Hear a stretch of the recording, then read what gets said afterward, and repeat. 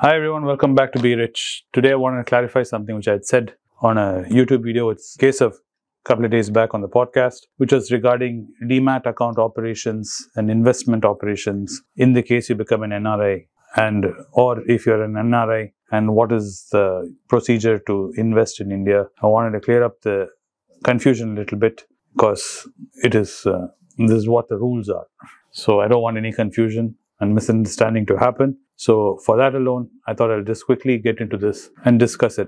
It's a very short video. It's an explainer video and I won't occupy too much of your time. So let me get right into it.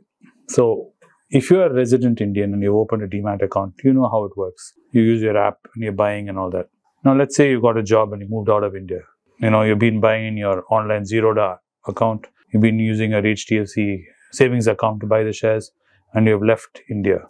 The rule is after staying 180 or 182 days outside India consecutively, you become your status as a resident Indian changes to a non-resident Indian. You're not residing in India anymore.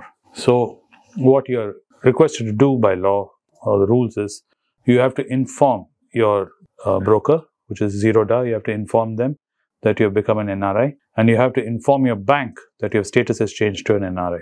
When you do that, they in turn will require you to give address proof and uh, visa and everything, whatever, wherever you are, all that has to be shared. But remember, this has to be done physically. So you cannot do this remotely. So you'll have to do this physically. And you'll have, when you come to India next time, you'll have to have to go to your bank and spend some time and convert this to an NRO account. To convert to an NRO account, like I said, you'll have to do some paperwork and you'll have to do it in being there physically to do it.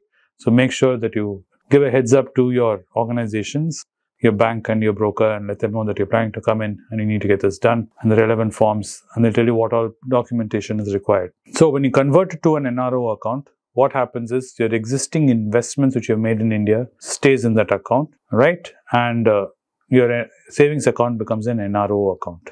And whatever money which you have, there's one more thing which you have to do is known as the PIS. PIS stands for Portfolio Investment Scheme it is to inform the RBI that you have become an NRI. Now, there's another portion to this where if you have started earning money abroad and you want to use this money to invest into India, you have to open another account in your bank and another account with your broker. This is called the NRE account, which is a non-resident external account. There's another savings account which you'll open with your bank and you'll have another demat account which is opened as an NRE. The transactions which you do in the NRE account the funds which come into it can be taken back outside India. The funds which are there in the NRO account cannot be taken out of India. I mean, they can be taken, but we have to take permission and there's a whole bunch of other things you have to do to take your money out of India. There's a limit to it. The NRE doesn't have these kind of restrictions. It's different. So you'll have two different accounts. You'll have an NRO account where your old investments will be sitting and your new demat account, which is the NRE account, and you'll have an NRE savings account and you'll have a separate portfolio uh, investment scheme permission taken for that one.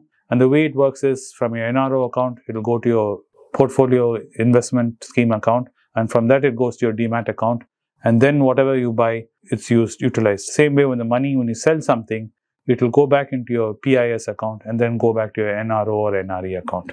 The main reason why the PIS is there for the NRE is it is for taxation. It is taxes, depending on which slab you fall under, they'll be taking tax. And if it's in the NRE, your taxes, I think, is the 30% plus some surcharges and everything come around 32 to 33% tax is taken off and the money is returned to you, depending on the capital gains, if it's short term or if it's long term capital gains. Again, I'm just brushing this very broadly. If you want more details, reach out to us. I'll give you more details when I really understand what your case is. I'm just broadly walking through this so you know what it is. And uh, what you should keep in mind is as a non-resident Indian in your NRO account, you are allowed to buy stocks, you can invest in mutual funds, and you can buy bonds. As a NRE, you're allowed to buy stocks, you're allowed to buy mutual funds, but you're not allowed to buy bonds in the NRE account because the money is, has can be taken out of India. So those are the rules which are there. So you cannot invest in bonds in your NRE account. But in your NRO account, you can definitely invest in bonds. Now, let's say if hypothetically you're a person who has left India right after you finished your college, your first job happens to be abroad, or you're a person who's gone abroad and you have no income in India, you don't have any rental income, you have no uh, dividends or anything in India, and you've got a PAN number, then it is possible that you can create an NRO account and buy the bonds and uh, what do you call file ITR and claim your tax back. Because as a non resident Indian, your tax slab will be immediately at 30%, bonds will be deducted at 30%. And uh, so let's say if even for that uh, PAN number as an individual, the basics, if you're below 7 lakhs a year, you don't have to pay tax. Your tax is nil. So what will happen is, let's say you've bought uh, 70 lakhs worth of bonds and you've got 10% interest.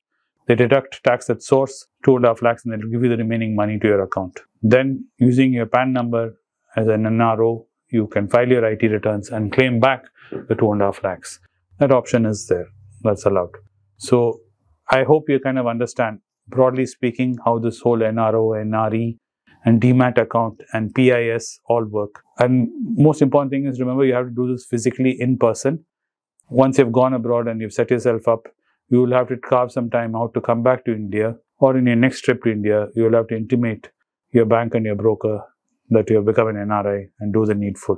This is why it's important to have a good uh, financial advisor on board so they can walk you through all this, the rules and regulations. And also, I'm not even talked into the taxation, what all implications of taxation in this. So it kind of gives you a broad idea.